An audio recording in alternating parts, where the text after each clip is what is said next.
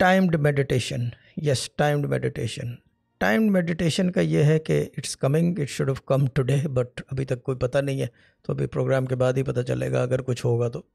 ए, वो जो है क्या कहते हैं उसको अभी से बता दूँ कि वो रात के टाइम लेनी है ठीक है ना?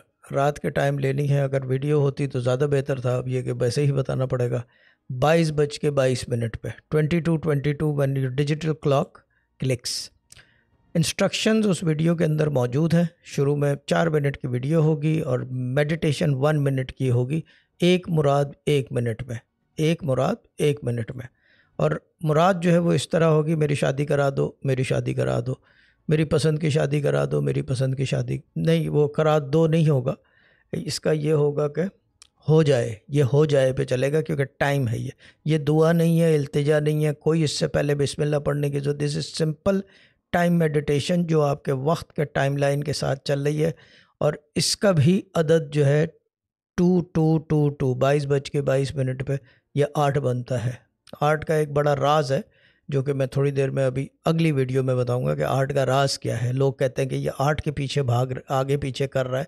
What is the reason why the thing is that के बाईस बाईस पे करना है।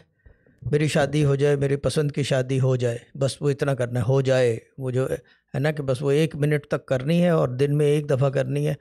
किसी चीज़ की पाबंदी नहीं है, किसी चीज़ की कैद नहीं है, ना कुछ करने की ज़रूरत से दो चीज़ों का ध्यान रखना है। क्योंकि ये मल्टी रिलीजन है मल्टी कल्चरल चीज़ है any one can do it from any ये क्या हो गया? ये बिल्कुल ही चला गया है।